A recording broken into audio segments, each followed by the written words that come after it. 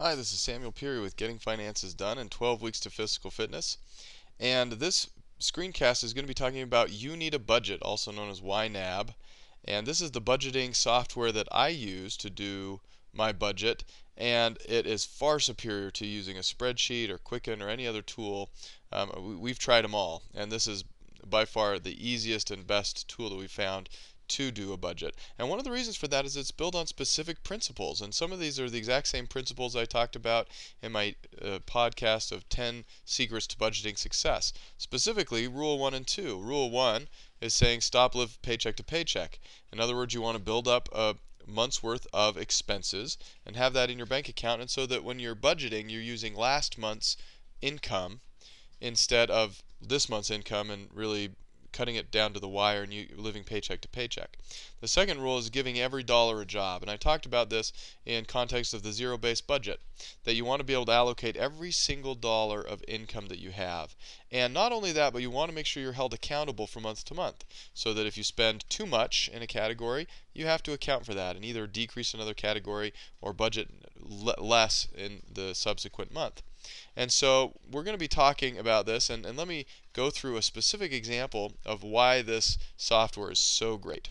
I'm going to create an account. I'm, going I'm not going to go into detail of this process because I'm going to be doing this in a, subsequent podcast. In fact, I'm going to do a whole series of podcasts about this, walking you step by step how to create your accounts and how to get this set up for your budget.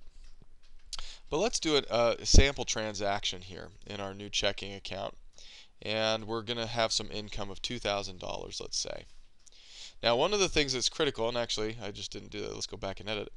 One of the things that's critical when, when you do income is that you categorize it and you say whether it's available this month or next month. So let's select that it's available this month. We're actually going to use that money this month. And now we're going to go to our budget. This is where the magic happens. And the reason the budget section here is so great is that it creates a kind of a virtual envelope system. In fact, you see these little files here um, kind of showing the virtual envelope system. And it allows you to keep track of, even if you have one checking account, it allows you to keep track of what that money is assigned to do within that checking account. In fact, you need a budget is so simple, there's only these three different screens you can view. And that's part of the power of you need a budget. Unlike Quicken, where it tries to be everything to everybody, this is trying to be a solid budgeting tool, and that's it. And it does a great job at it. So let's look at our budget now. In March, we have $2,000 available this month. And we also have $2,000 available to budget. So now as we budget this, let's say we want uh, 300 in groceries. So we have a mortgage of $1,200. And as we start budgeting this, allocating the money, this amount available to budget goes down. So we have $500 left. Let's say we have health insurance and uh, let's see, just for simplicity's sake, let's say we have a $200 auto repair. So now we've allocated all of our money and we see the category balances over here. So we have $300 left to spend in groceries, 1200 left to spend for the mortgage, etc. Now, the real cool part happens when we go back and now let's enter in a transaction. Let's say we went and spent $250 or $350 rather on groceries. So we select the grocery category. Let's say it was at Walmart and we'll save it. Now let's see what happened on our budget screen.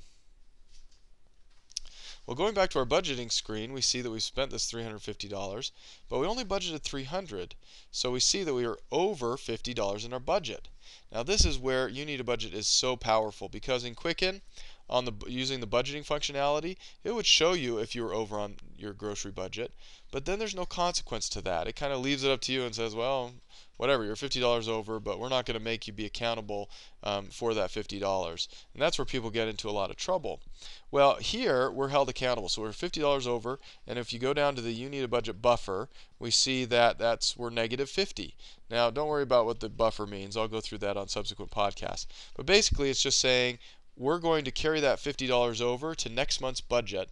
And so you're starting with negative $50. So in other words, you have to budget $50 less in April, somewhere in your budget. You have to be $50 less than you were last month, okay? Now the other option we have is to actually, if we want to keep track of groceries specifically, we can choose to subtract it from next month's category balance. If we select this option, instead of showing up in your starting, you know, starting out negative $50, it's actually going to just show in the, the uh, grocery category that you're negative $50.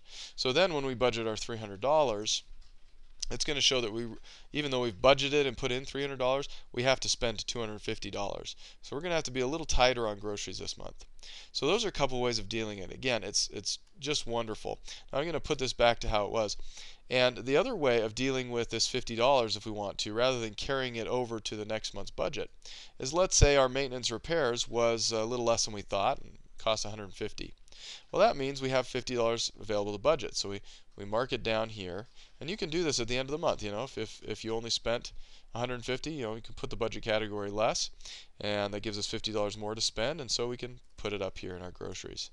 That zeroes it out. The zeros are available to budget. We have no penalty, no carry, no no negative carryover to next month, and we're all balanced out. So that is the power of you need a budget. It's absolutely the, by far the best budgeting tool I've ever used, and it hopefully will make your life a lot easier as well as far as budgeting goes. I'm going to be doing a series of screencasts that show you exactly how to set up your accounts, how to make this work for you. So stay tuned for those. And until next time, this is Samuel Peary with Getting Finances Done and 12 Weeks of Fiscal Fitness. We'll talk to you soon.